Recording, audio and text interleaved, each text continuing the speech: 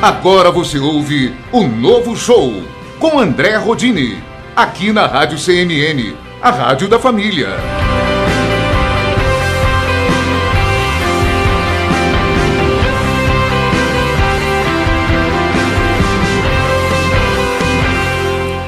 Bom dia, bom dia para você que está acordando agora, sábado gostoso, né? Olha, esse programa está gravado, então por isso que eu não estou ao vivo hoje. Ah, quero agradecer a você que vai ficar aqui com a gente ouvindo o nosso programa. E eu quero dizer uma coisa para vocês. Eu tô com uma dor nas costas já faz algum tempo. E passei agora no médico, né, para fazer uma avaliação. E eu fui é, no médico lá da Terra de Ismael, em Jurucê, que é onde eu frequento, né? Que é o meu centro espírita, mas é também um local de atendimento é, médico e farmacêutico. Muito bem. A consulta durou aproximadamente duas horas. E é, fui atendido por dois médicos e a gente seguiu conversando sobre a, a, minha vida, né? Porque quando a gente vai no médico, a gente tem que ser ouvido, né? E fomos falando e fomos falando tal. E uma das médicas que me atendeu, ela trabalha com, ela é cirurgiã gástrico. E ela disse uma coisa que eu não sabia, que é muito importante nós que já temos mais de 45 anos, fazer o exame preventivo do, do tanto do estômago, que é a endoscopia, como do intestino, que é a colonoscopia. Falei assim, não, mas isso é preventivo, a gente faz esse exame quando a gente está doente, né? Ela falou, não, o, tanto na pele da gente, que começa a sair essas berruguinhas, essas verrugas, quando a gente vai ficando mais velho, isso acontece também no intestino e no estômago. E quando identifica uma, uma dessas berruguinhas que possa ser maligna, já tira, resolve, está tudo certo e, e, você nunca vai ter esse tipo de câncer, né? É, tanto no intestino quanto no estômago. E ela falou que é muito importante fazer esse exame preventivo. Então, para você que vai passar pelo médico em breve, fazer suas consultas é, preventivas, pergunte a ele se não seria o caso de você fazer também uma colonoscopia ou uma endoscopia. E aí você faz um exame preventivo melhor e mais completo. É isso aí. No oferecimento de Prever, Família Prever, ah, nós vamos começar agora o programa, daqui a pouco, do, depois do intervalo. Eu vou passar para vocês uma entrevista que eu fiz aqui com o senhor Gilberto Pereira Barreto. Esse homem tem uma história maravilhosa. O que aconteceu é que nós tínhamos só meia hora de programa de, de entrevista aqui para fazer e, o, e ele às vezes esqueceu alguma coisinha, ele já está com 96 anos. Então, mas eu tenho certeza que você vai gostar muito dessa entrevista que você vai ouvir agora. Tá certo? Fica com a gente, tenha um ótimo final de semana e eu volto daqui a pouco. Quando precisar, prever Campos Elíseos. Assistência familiar, carinho Respeito e dedicação ao alcance de todos. Avenida Saudade 630. Fone 3434 mil. Quem ama seu pet agora vai ficar mais tranquilo. Crematório Pet Prever. Um local onde você pode fazer uma despedida digna e uma fiel homenagem ao seu pet. Associe-se já e tenha vários benefícios ao plano Pet Prever. Condições especiais a partir de só R$ 6,99 por mês. Faça já seu plano. Seu pet merece essa despedida digna. Crematório Pet Prever. Avenida Saudade 630. Fone 3434 mil. www.crematoriopetprever.com.br Crematório Laboratório Pet Prever. Uma fiel homenagem. Filho, vamos com o papai ali? Papai, onde estamos indo? Na Prever Campos Elíseos, filho.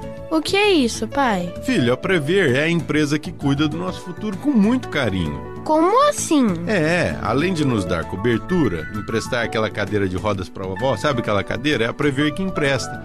Ela nos ajuda também no tratamento do dentista, filho tem várias outras coisas que ela faz. Vamos lá para você conhecer. Nossa, pai, é nova essa empresa? Não, a Prever tá aqui desde 1961. Foi seu avô José que me trouxe aqui pela primeira vez. Prever Campos Elíseos, cuidando da sua família, cuidando de você. Em Ribeirão Preto, ligue agora, 3434 mil. Hum, gostei do chá com bolachas que serviram pra gente. Olá, está começando mais um ponto de encontro e hoje um ponto de encontro muito descontraído. A gente tem a honra de receber aqui nos estúdios o vereador André Rodini e também um convidado para lá de especial, Gilberto Pereira Barreto, ele que é engenheiro de Minas, também sobrinho neto de Fábio de Sá Barreto, o nosso prefeito municipal de Ribeirão Preto, que foi. E hoje essa honra de tê-los aqui conosco nos estúdios da TV Câmara, vai engrandecer um pouquinho mais a história dos Pereira Barreto. É isso, vereador? Como vai? Tudo bem? Tudo bem, Jane? Boa tarde, boa noite. Não sei que horário que vai passar. É um prazer estar aqui e poder dividir com você, munícipe de Ribeirão Preto, um pouco da história da nossa cidade, um pouco da história dos pioneiros que ajudaram a formar essa terra maravilhosa que recebeu gente do país todo, imigrantes. A início da colonização passou por aqui, nós tivemos por aqui o imperador Dom Pedro. Ribeirão Preto é riquíssima em história. E em poucas oportunidades nós pudemos entrevistar pessoas que viveram essa história, pessoas que viveram o começo do século passado até os dias atuais e ainda tem testemunho e saúde para transmitir para todos nós as histórias que poucos de nós sabemos, mas que fazem parte uh, da nossa vida em Ribeirão Preto. Seu Gilberto, que honra tê-lo aqui, viu? Muito obrigada por essa participação especialíssima aqui no nosso ponto de encontro. O prazer é todo meu e é uma honra muito grande para mim e para a família Pereira Barreto.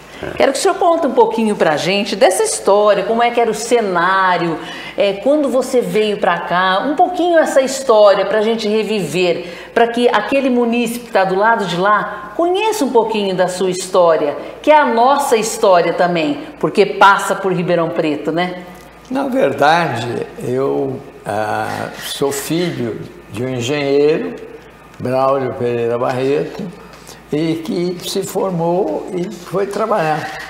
E depois ele construiu família e eu nasci desse Braulio Pereira Barreto.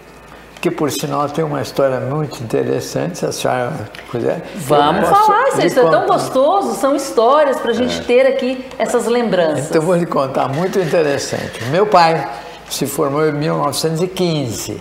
Naquela época o mundo era dos ingleses. Então os ingleses o contrataram para ele abrir o norte do Paraná, porque o norte do Paraná não tinha só índio, não se chegava não, nem por São Paulo nem pelo Paraná. Contrataram os, os ingleses o contrataram para fazer pequenas áreas de agricultura para eles trazerem realmente os, os, sobre, os, os candidatos, né? E papai então assumiu essa questão e ele tinha que entrar para o norte do Paraná. Então, por onde entrava? Não tinha. Então, se, ele chegava no norte do Paraná naquela época, atravessava-se o estado de São Paulo, parava-se numa cidadezinha chamada Piraí do Sul, e ali em Piraí do Sul ele fazia o que a gente chama de fazer as tropas. 15 ou 20 dias, pessoas, cavalo, isso. O descanso, né? Alimentação. Aí passava lá, e aí se mandava para o norte do Paraná. Tanto é que papai. Mundão afora. É, tanto é que papai é o fundador de Londrina. Ele que pôs a estaca da fundação de Londrina. Muito bem, e ele entrou para aquele norte com 15 ou 20 camaradas junto com ele, passavam lá um ano, um ano e meio, abrindo isso, aquilo, né? Um dia, na, como era natural, na beira do riozinho, assim, uma índia abre a perna e joga um bebezinho na água. Meu Deus. Pegou o bebezinho, lavou aquela coisa toda, né? E ela morreu da febre do parto, né? Uma semana ela foi embora.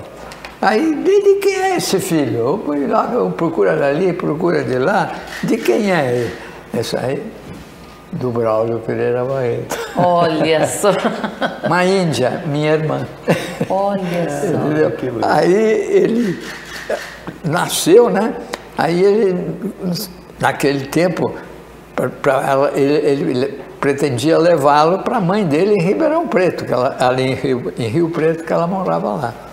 Aí o, o camarada lá, o italianão, disse, olha, esse, bebê está tá morrendo, você trouxe ela já num estado terrível, né? Deixa ela aqui, entendeu? Vai embora e na volta nós te damos para você levar para sua, sua mãe.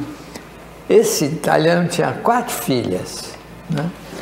E uma delas, quatro, quatro, quatro italianinhas recebem um bebê morrendo, uma delas pegou o bebê foi tratando, foi tratando. E ele voltou um ano e meio depois. Quando chegou para levar o bebê, eh, ficou sem saber o que fazer, porque naquele tempo não tinha telefone, essas coisas, para falar É. com a mãe dele e tal, né? A postura do pessoal nessa época. Aí ele pediu ela em casamento, a Olha. italianinha. É mesmo? A que estava cuidando do A que estava cuidando do bebê. Minha mãe. Que vem ser a sua mãe. que beleza. Olha, que história bacana. Coisa boa. Então, você falou de tempos atrás, queria que o vereador me ajudasse aqui. Como é que era o transporte, né, vereador? Contar essas histórias para essa juventude que não conheceu isso, né, vereador? O transporte sempre foi feito em lombo de burro. Isso. E, e com carros de boi. Carro de boi, que olhando um dos livros aqui do Dr. Gilberto, a contracapa dele tem uma das fazendas da família. E essa fazenda, para a gente que trabalha com pecuária, gosta muito de ver esse e tipo que de conhece, bovino. né, que sabe. São praticamente todos animais ibéricos, que é uma praticamente hoje uma raridade, porque com a entrada do zebu no Brasil, o Nelore foi ocupando espaço e essas raças, como é o caracu, foram perdendo o o espaço. espaço. Mas todo o transporte era feito com esse tipo de animais de tração. Eu só queria lembrar aqui que os ingleses, ao, ao fazer o norte do Paraná, e ao pai do, do seu Gilberto aqui ter fundado a cidade de Londrina. Londrina quer dizer Pequena Londres. Isso. E com homenagem à companhia, companhia inglesa, que inglesa. estava desenvolvendo lá. Olha Então, é, então os Pereira Barreto não só fundaram lá algumas cidades do Paraná, mas principalmente Londrina, e também aqui no estado de São Paulo, mas de- tudo de uma linhagem que veio do Vale do Paraíba, Do é Vale do isso? Paraíba. Vale do Paraíba, da cidade de Resende. De Resende. Então, vamos... ah, pode falar, perdão, seu Gilberto. Resende, na, naquela época dos Pereira Barreto, doutor nasceu em Resende, o Luiz Pereira Barreto. Né? Naquela época, eh, a família Pereira Barreto era grande plantadora de café. A época. Era, naquela época, o maior exportador de café Olha do só. Brasil, entendeu? E Era uma referência para o Brasil, Era né? uma referência. E aí, naturalmente, o café teve um problema complicado, etc. e tal, e, e começou a, de, a decair a produção de café em todo o vale. Então, e aí eles resolveram buscar uma nova oportunidade. O Luiz Pereira Barreto tinha 15 anos, ele, naquele tempo, uma pessoa de 15 anos já era homem, né? Já era homem, diferente da atual situação Exatamente, hoje, né, claro. seu Gilberto? Então ele realmente resolveu estudar e a família queria que ele estudasse direito, mas ele tinha uma outra vocação, então ele resolveu fazer o, o, o que a gente chama hoje de colegial, aquela coisa toda, e aos 15 anos ele foi para a Europa estudar agricultura e medicina. Olha só. Esse Luiz Pereira Barreto vem a ser o bisavô dele. É, Olha só. Então, vamos falar. Quem foi vereador, deputado e ex-prefeito de Ribeirão Preto? Fábio Barreto. o sobrinho Qual que é o seu parentesco com ele? Ele é sobrinho do Luiz Pereira Barreto. Então, ele é meu parente, é meu primo. Ah, tá. Eu... Foi ele que trouxe a Mogiana para a cidade de Ribeirão Preto. E você lembra muito é, desse seu primo próximo é, de quando ele começou, da prefeitura em Ribeirão Preto, como é que era, desses caminhos. É, tem alguma lembrança que você possa falar para gente, Gilberto, para registrarmos aqui no ponto de encontro? Olha, acontece o seguinte, eu também muito cedo, muito cedo, é, fui embora do Brasil para os Estados Unidos por uma série de razões, eu ganhei uma bolsa de estudos. Só um adendo aqui, seu Gilberto. Parece que o senhor morou também com o Antônio Hermílio de Moraes lá. Pois é, eu ganhei uma bolsa de estudo do pai dele. Olha só! É, esse senhor, o velho Hermílio de Moraes, é pernambucano e houve lá uma crise econômica muito grande e, e o pai foi para os Estados Unidos. Lá ele andou de lá para cá, aí de repente ele foi para o Colorado. Chegou no Colorado, ele entrou na Colorado School of Mines, que era, é até hoje, a melhor escola do mundo de engenharia de minas, de petróleo, minas. etc. E, tal. e era, como é hoje, até hoje, era o, o, o conteúdo, o, os alunos da, da escola, 75% a 80% eram estrangeiros. Entendeu? Uhum. Então, ele se formou lá, o velho, entendeu? Pegou, terminou o curso e foi para Nova York para vir embora para Pernambuco. Aí tem uma historinha muito bonitinha. Então também. conta pra gente, a gente precisa registrar tudo isso. Aí, como ele não tinha dinheiro, o velho Emílio, né?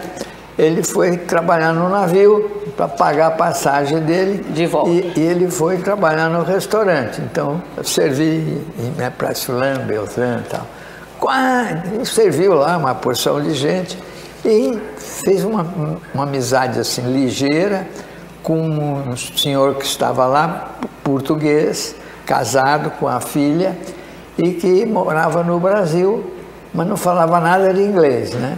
Então bate-papo de lá, bate-papo de cá. Quando o navio estava para chegar em Pernambuco, o português virou para o, velho Hermílio e disse, escuta, o que, que você vai fazer? Ele falou, bom, eu vou realmente procurar um emprego aí, vou trabalhar, etc e tal. Aí o português falou para ele, olha, você está empregado se você quiser.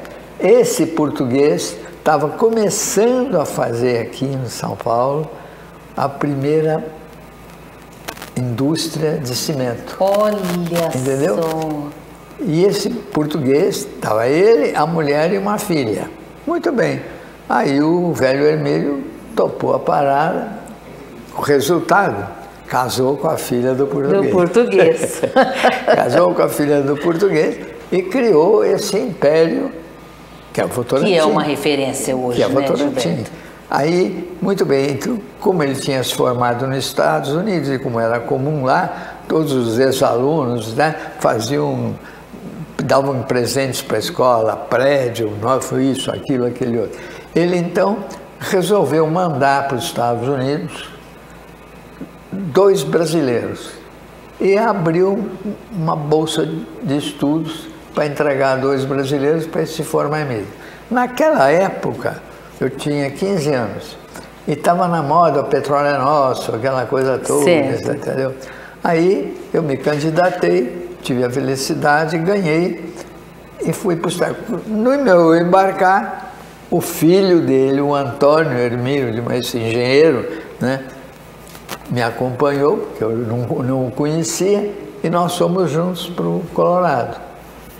E na minha opinião, o maior engenheiro que eu conheci, não só de nome, mas pelos trabalhos, etc. e tal, esse Antônio, o, filho, o Antônio Emílio de Moraes, foi, na minha opinião, o maior engenheiro da época. Olha, uma referência que é o engenheiro seu Gilberto Barreto, falando aqui de Antônio Hermílio de Moraes. Agora vamos um pouquinho na história preciosa e aí o vereador Rodini vai falar. O senhor é natural de onde?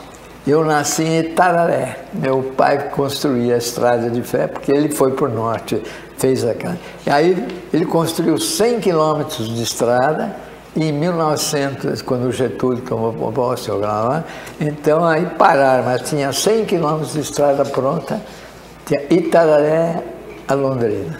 Agora eu vou deixar o vereador Rodine falar um pouquinho também. É, o, uma das coisas assim que quando a gente é, tem a honra de ficar perto de uma pessoa que viveu é, dois séculos, né, em dois séculos diferentes, é, eu uma vez eu fiz uma pergunta para minha mãe e qual que seria a invenção? Minha mãe, ela tem 88 anos. E eu perguntei para ela qual que era a invenção que ela achou a invenção mais extraordinária que pudesse ter na, na vida dela.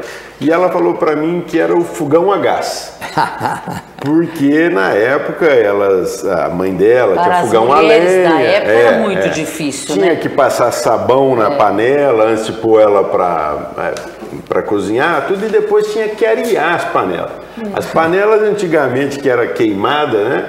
Tinha que ser areada com areia mesmo e sabão ferro, de né? cinza. É, de E ferro. agora eu vou perguntar para o nosso convidado aqui qual que foi a invenção que o senhor, como engenheiro, que, teve, que viveu todo esse período, qual que foi a primeira e mais esplendorosa invenção da humanidade nesse período que o senhor observou? Agora você me fez uma pergunta dificílima.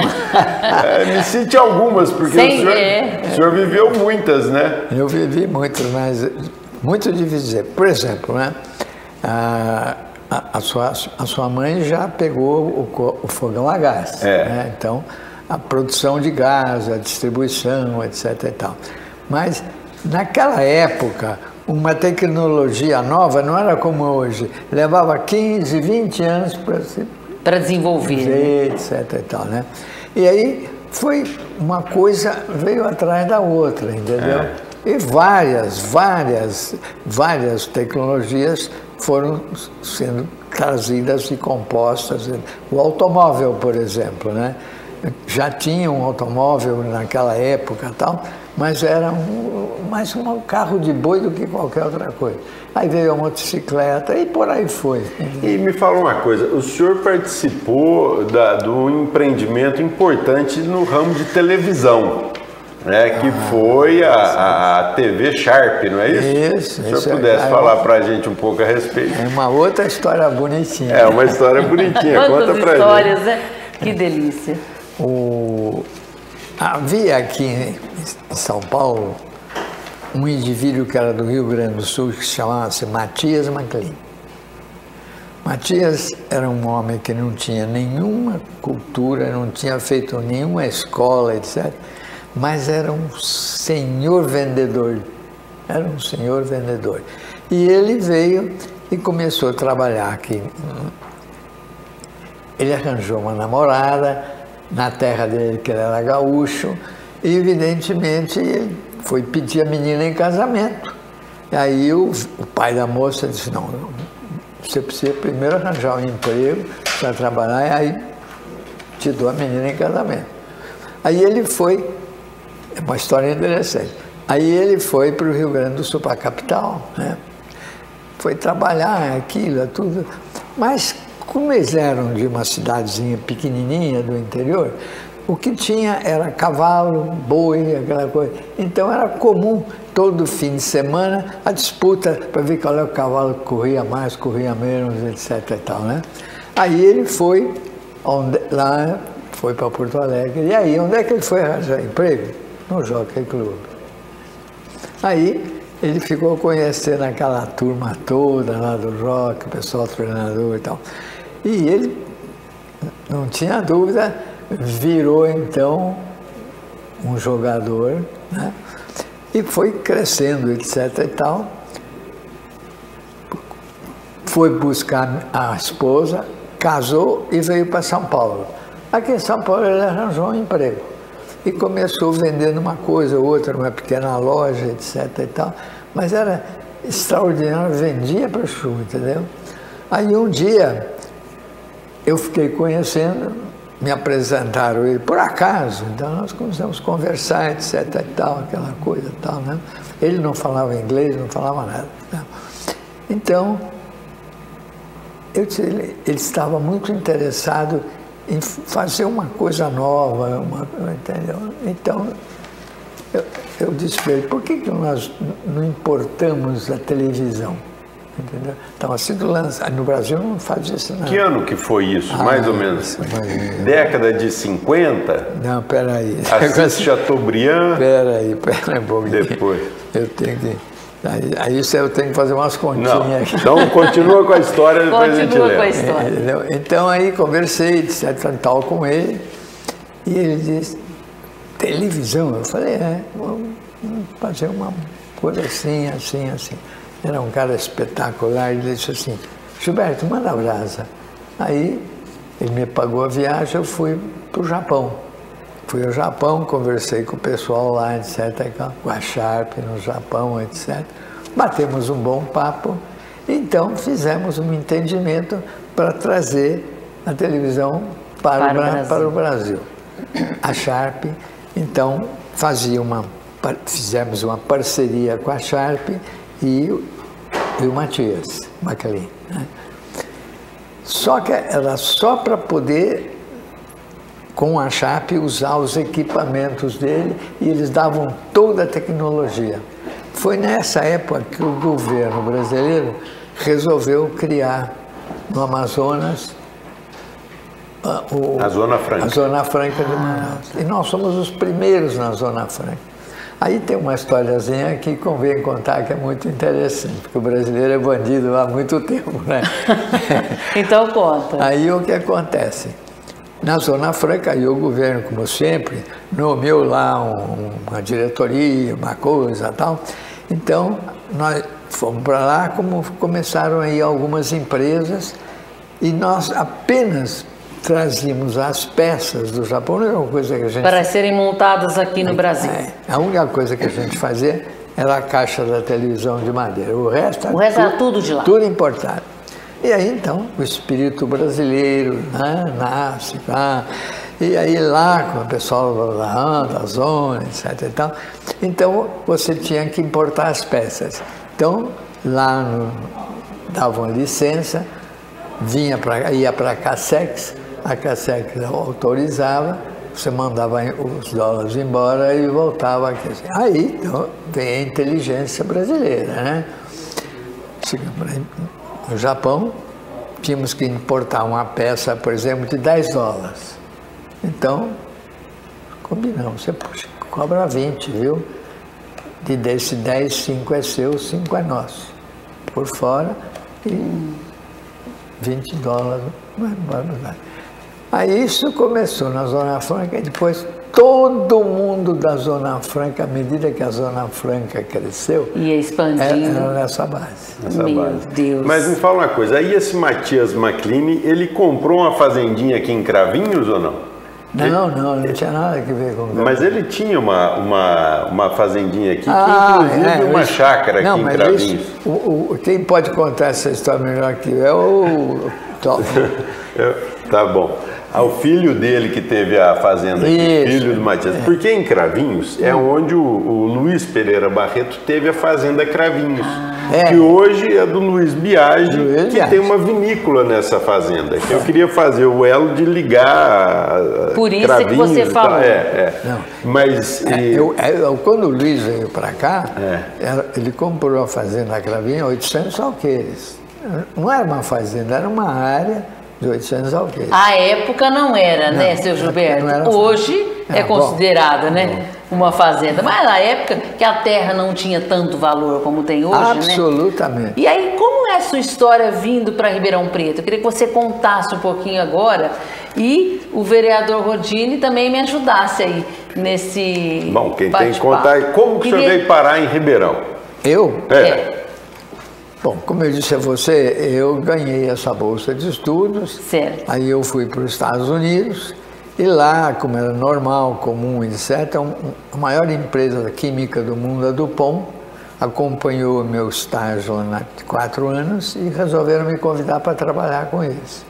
Então, eu fui trabalhar com a Dupont por quatro anos, eu segui, fiz alguma coisa, etc. Aí pediram para eu fazer um primeiro projeto de instalar uma fábrica de soda cáustica no Peru. né? E eu fiquei meio surpreso, digo, bom, eu sou engenheiro, mas eu não conheço. No Brasil não havia escola de administração como hoje. Era a escola de administração que havia no Rio de Janeiro, mas era para o governo. Então, eu, o que, que eu fiz? Eu disse, bom, como é que eu faço? Então, aí eles me disseram, você tem toda a liberdade, usa a empresa do povo como você quer. Então eu fui para o Peru e eu então visitava todos os setores. Não havia escola de administração, nem, eu nem sabia o que era escola de administração, entendeu? Aí então eu fui devagarzinho e tal, ia lá do pão, voltava, ia lá, voltava, ia lá, voltava, e finalmente montei, depois de um ano e meio. Aí me apre apresentei o meu projeto. Veja o que é uma, uma grande empresa americana. Apresentei o meu projeto, eu era jovem, estava todo satisfeito. Agora, puxa vida, eu vou voltar para o Peru, vou administrar isso. Né? Aí o, o meu chefe virou para mim, olha, tira 15 dias, vai passear, esquece esse troço, vai passear. E eu te recomendo o seguinte, que eu falei para ele que eu, eu, fui lá, eu não sabia o que era administração uhum. e tal, né?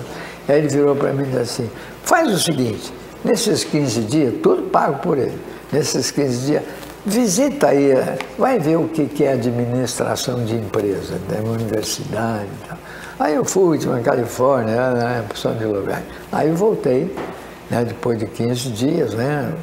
Ele me deu mais 15, passei mais 15 visitando esse troço todo. Bom, aí eu chego e disse, bom, agora ele vai me mandar para o Peru e eu vou lá, mas não, não. Bom, Aí me conta uma história fantástica. Diz, não, Gilberto, nada de. Nós testamos você para ver se você podia receber um cargo responsável dentro da empresa. E qual foi? Me contrataram para instalar a Dupont no Brasil, porque naquela época, em 1937, 38, os ingleses ainda eram donos do mundo.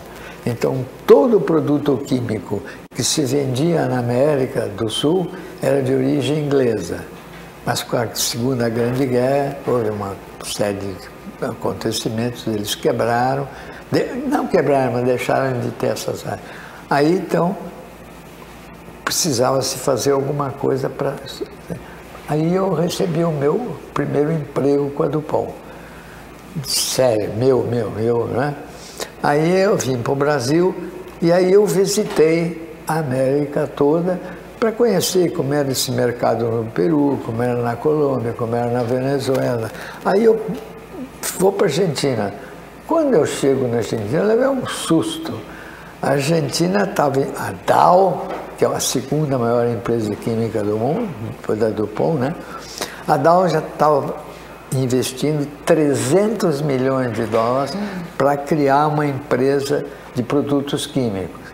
Eu vi aquele negócio, me assustei de ver Argentina, pô, né?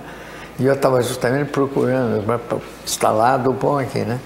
Aí então, peguei e fui direto para meus pessoal lá do pão, né? E disse, olha, acontece o seguinte, assim, assim, assim, assim, não tem sentido na Argentina não tem condições, tem que ser o Brasil. Aí o meu chefe disse, não, me dá 15 dias. 15 dias depois ele me chama, me acompanha e nós vamos falar com o presidente Nadal. Olha. Conversamos com o presidente Nadal, etc e tal. Aí eu aprendi uma coisa muito séria no mundo de negócio. A gente pensa que as grandes empresas brigam entre si. Pelo contrário, elas trabalham juntas, entendeu? Olha só, nosso papo é tão bom, nós temos só quatro minutinhos para terminar. Minutos? Não, Olha então só, peraí. eu quero que você faça esses quatro minutinhos, vereador, porque eu, voa, nós temos não, imagens para mostrar. Tem muita história para contar. Mas tantas histórias, outro oh, programa com o seu Gilberto. Mas eu tenho muita mais. mentira para contar. Mas que honra tê-lo aqui, olha que gostoso, que seu, papo está tão descontraído que voou. O seu Gilberto, ah. ele foi uma das pessoas mais influentes, porque o tempo não dá para a gente contar. Ah. Ah, como funcionário da Dupont, é, que a, e a Dupont é uma empresa de química muito poderosa no mundo todo, uma empresa né, americana, vereador? até hoje é muito forte. É a maior do mundo. Ela tinha muito relacionamento com o governo na época. E o, o seu Gilberto era o homem de, de linha de frente da Dupont junto ao governo brasileiro. Então, o que, que ele fez? Ele ia e tinha contatos com o presidente Geisel, ele tinha contatos com o Delfim Neto, que era o ministro da Economia na época, do regime é, militar e tudo mais. E ele na época, depois, é, ele acabou se tornando sócio da, de uma empresa de feiras no Brasil que se chama Alcântara Machado. É, foi a maior, é a maior empresa de feira, uma das maiores, mas já foi vendida do dono originário, né? E ele fez uma coisa que fez com que ele se tornasse o homem de, de, que, que foi o pioneiro na grande alavanca das exportações do Brasil foi quando eles criaram a Export Brasil, que era uma feira para receber os compradores do exterior e promover as exportações. Ele pensou que ele podia fazer um negócio muito diferente e fez. Então ele saiu a buscar nas famílias ricas de São Paulo e do Rio de Janeiro os jovens filhos e filhas que falassem idiomas e que fossem pessoas, por consequência, muito bem educadas. Correu até a Ford e pediu para a Ford, a empresa de automóveis, ah, carros para receber essas pessoas. E a Ford cedeu ao grupo 100 Landaus na Olha época, que era o maior carro que tinha no Brasil, tal, que era um luxo aqui. Já lá. era visionário, seu Gilberto. Ele colocava esses jovens para ser os cicerones, né, os quebra-galho do, do, do pessoal que vinha de fora. E com isso, já no segundo ano da feira, as exportações do Brasil saltaram cinco vezes. Na sequência, e aí o crescimento foi sendo exponencial e fez com que o Brasil se tornasse hoje um dos maiores, mas um dos maiores exportadores mundiais de todo tipo de produto, principalmente commodities. E para entrar no, no, no, assunto de commodities, o seu Gilberto foi um dos responsáveis, junto ao governo, por criar a Embrapa, que é a empresa brasileira de pesquisa agropecuária.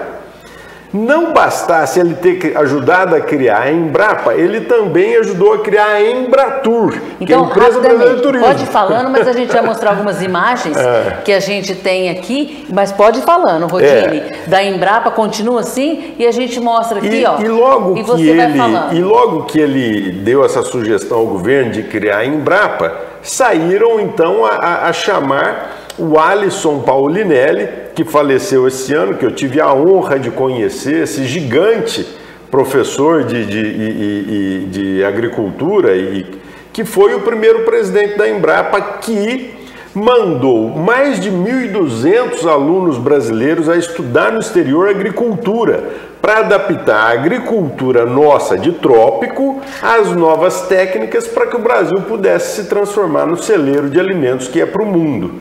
E hoje o Brasil, graças a esse trabalho feito originalmente pela Embrapa, pelas empresas de química como é a Dow, como é a, a, a Pioneer e mesmo a Dupont, o Brasil se tornou uma potência agrícola.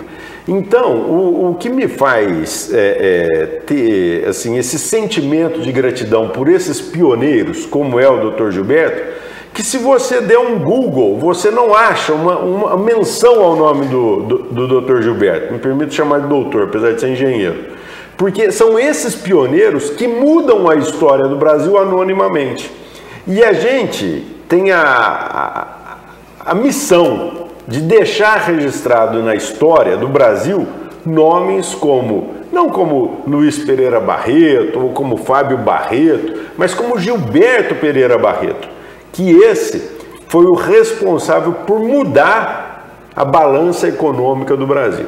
Um dos, né? Porque isso não se faz sozinho, mas essa visão de fazer, a visão de ir atrás, do, o Gilberto que trouxe para aqueles incipientes é, burocratas da época do governo Você me dá de Médici. Por favor. A coisa mais importante com a criação da Embrapa, criou-se a agricultura tropical, que não existia no mundo. É.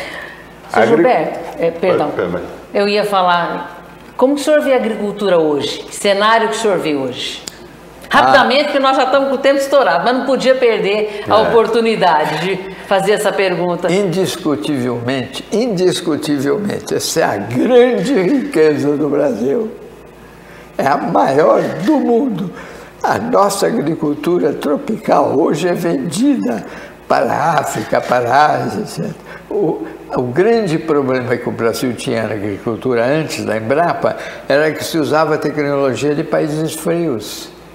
Então, uma E o coisa- Brasil desenvolveu a tecnologia tropical, não Exatamente. só de agricultura, mas também de pecuária. E se tornou Bom, pecuária, avicultura, vai suinocultura, toda- que fez com que o Brasil se tornasse o maior exportador mundial de proteínas, que o Brasil tiver, tenha hoje a maior empresa de alimentos do mundo, que é a, a- a JBS, ela é maior do que a Nestlé em, em- em produção e exportação de alimentos.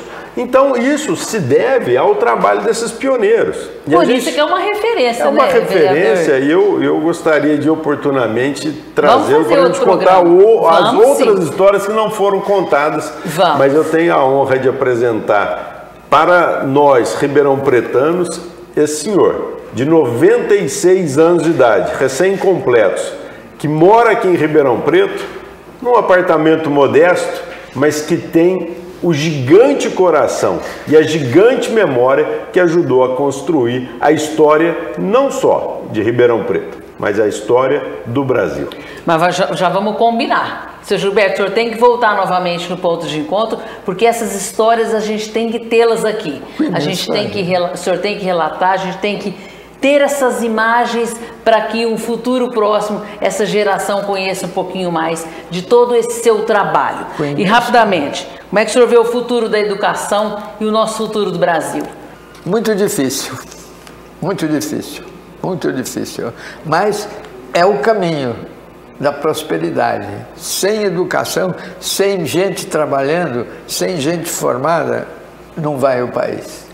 Vereador, muito obrigado pela presença hoje aqui no Eu ponto que de encontro. agradeço a você, Jane, e o pessoal da TV Câmara, sempre muito solícito a- e muito sensível a trazer a melhor informação para você que nos assiste. Acompanhe o trabalho da TV Câmara, siga aí nas redes sociais, está crescendo, e siga a minha também, André Rodini no Instagram, no Facebook, YouTuber, Deezer, eh, Spotify e assim por diante. Bem, e nós vamos encerrando aqui mais um ponto de encontro. Eu espero vocês a semana que vem, aqui mesmo, nos estúdios da TV Câmara, para mais um papo descontraído. Até lá, se Deus quiser. Gente, me fala uma coisa, quem de vocês já foi no Mercadão de Ribeirão Preto? Aquele Mercadão Central. Mercadão tem muitas histórias. Mercadão já pegou fogo, aquela aquela conformação dele não é mais a conformação original. Mas muitas das pessoas que têm comércio no Mercadão comemoraram essa semana os 123 anos do Mercadão Central de Ribeirão Preto. Uma alegria. Eu tive uma. Uma vez eu, eu, fiz, eu fazia cinema, né? Eu fazia documentário e tudo.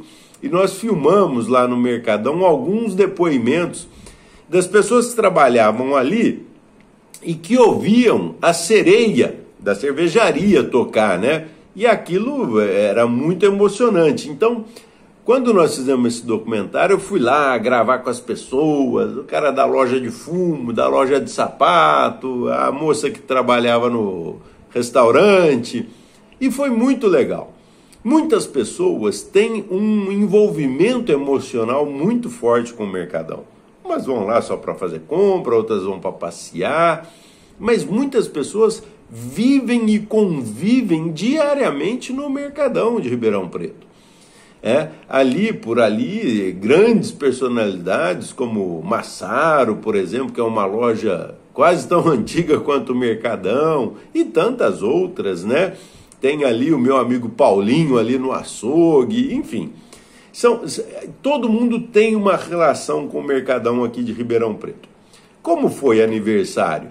O aniversário foi comemorado na quinta-feira teve um bolo maravilhoso lá e eu fui fui comer um pedaço do bolo né é, em comemoração em homenagem ao Mercadão então é, essas memórias afetivas que nós temos da nossa cidade, das coisas da nossa cidade, devem ser preservadas.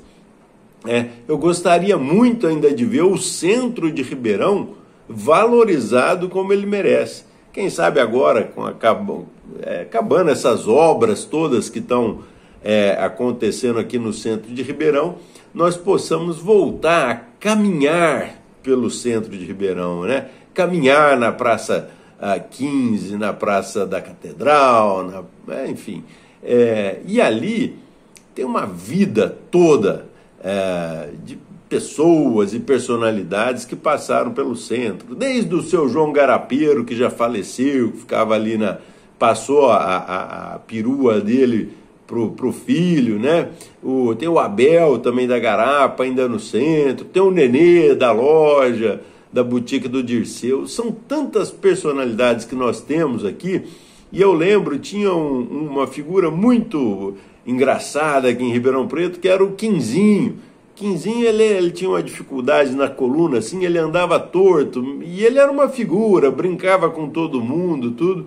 Então, se nós pudermos voltar a valorizar as pessoas e os espaços públicos, como nós temos o do Mercadão, nós teremos uma sociedade, uma cidade muito mais feliz. Tá certo? Fiquem com Deus, um ótimo final de semana a todos, e se Deus quiser, sábado que vem aqui ao vivo, falando com vocês pelo telefone, como é o nosso programa, tá certo? Forte abraço e até a semana que vem, se Deus quiser. E não se esqueça de fazer seus exames preventivos. Né? Não é só o homem que tem que fazer exame de próstata, não. Mulher também tem que fazer exame de mamas para ver se está tudo certo. Tem que fazer agora, lembrei hoje no começo do programa, tem que fazer colonoscopia e endoscopia para ver se está tudo certo. Tudo preventivo. É melhor prevenir do que remediar. Fiquem com Deus e até a semana que vem, se Deus quiser. E aqui, semana que vem de volta no mesmo horário com o novo show André Rodini.